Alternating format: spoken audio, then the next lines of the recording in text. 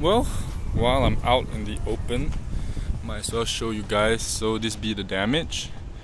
It's over here, cracked it and cracked it up real bad, and then the whole bumper here came out. Um, I asked my mechanic, and he told me that this is gonna cost me like 900 something. So small crack like that costs 900 something. Wonderful. and then I came also to do the RFID thingy, this little thing right here. So I did it in UM. It's pretty fast, so you know it's been something I've been trying to get done. So might as well do it on and off day. All right. Life moves on. Look at Mr. Guok Guok. Get that work in, boy. I have to hit the gym because today has been a really emotional day. Too many things are happening, so always good to come back here and just get a sweat out. Really emotional. What's up guys and welcome back to Just in Time. I had recorded a short bit in the gym as you saw in the previous video but it's a little bit too loud so I couldn't really use that so I had to kind of reshoot a little bit right now. But stuff happens which is actually a perfect segue into what I wanted to talk about. So let me just feel young.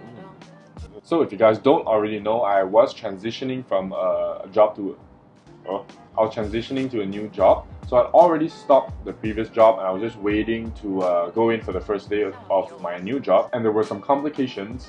So I ended up having to actually forego that job. I had to uh, terminate the contract with them, which was something new for me because I never had to leave a job before I went in for the first day. But that was that, and it was emotional for me in the sense that, like, now I'm without a job, no more money. And in my group of friends, like we were joking about it, I had gone from the person earning the most amount of money to now zero. So yeah, that was a bit of an ego hit for me as well. But it was something that really, really caught me off guard. I was not prepared for it. Uh, you know, emotionally, mentally, anything like that. And I was really, really grateful that my dad was actually there to help pick me up and you know, I was just asking him a lot of questions about like, uh, oh, how does this work? You know, did you break any rules, or was there uh, types of conflict of interest, or how to handle these type of situations? Because he's been in a corporate setting for a lot longer than I have. So he gave me a lot of good advice, and I'm really, really grateful for that. And I did ask a couple of my friends, and they gave me their input as well, which I was really, really grateful for. So yeah, that was um, a big thing that was happening at the time. And on that day itself, uh, I was in Starling Mall. I think if you guys saw my story that day, I was already circling inside Starling for 20 minutes and this dude just backed up right into me and he damaged my bumper. But a side note, if any of you guys are ever caught in these type of situations, I just want to let you know not to panic. And this guy actually just wanted to uh, settle it right then and there. He just wanted to give me a hundred bucks to uh, fix it all. I know these things will never cost just a hundred bucks. So I'm glad that I was assertive enough to you know not take the money uh, for the time being and tell him get his number and call my own mechanic. So yeah, short checklist if you guys are ever caught in these type of minor accidents. Number one, just don't panic and don't get angry either because it really just doesn't solve the situation. Like for me, I was listening to some sermons. Thank you, Jesus. So it did help me not to lose my cool and also any type of car problem you want to think of, right, I have actually gone through a lot with my car. Minor accident, major accident, brake don't work, accelerator working too well, a lot of stuff. So I've come to like biasa already. I very, very like no emotion to this type of stuff already. So yeah, just yeah. So yeah, just stay calm.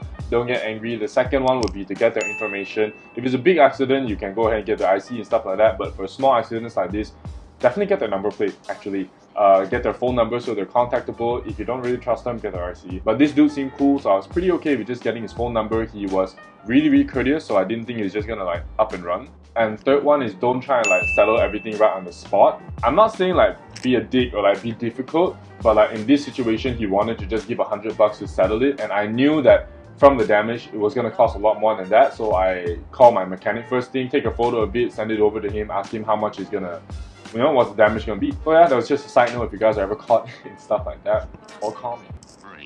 Yeah, so that happened like on the same day that I was expecting the phone call from that company. It was a lot of stuff just uh, running around my head, and it was a lot to take in. I was just like so tired, like you know, too gone, too far gone.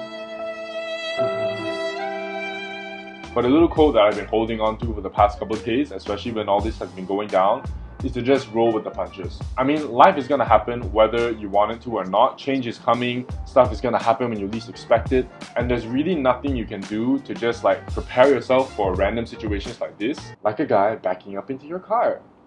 So you know, when stuff like this happens, it's really no point for you to get angry. It's really no point for you to just start blaming and you know, woe is me, just mull over it and stuff like that. But trust me, I did go through that phase where every little thing that was happening, I was, I, my temper would just flare. Like doors like this, I broke so many of them because I locked myself out of the room, I locked myself out of my house, out of my bathroom so many times, and I've broken so many doors. And it's really just like not worth it. Now I've come to a point that I am rolling with the punches. As stuff comes, dude, just roll with it. Instead of trying to find a reason of why this stuff is happening to you, why not focus your energy on what you can do? Because that's really the only thing you can control. So my model of rolling with the punches is not to question why there's a dude bashing me in my face, but more of how do I keep my feet under myself. So I hope you guys can roll the punches that are coming your way. That's all for this one. See ya. Should I do the hand thing? I'm not sure. It's something that I'm not really, really clear with. I don't know.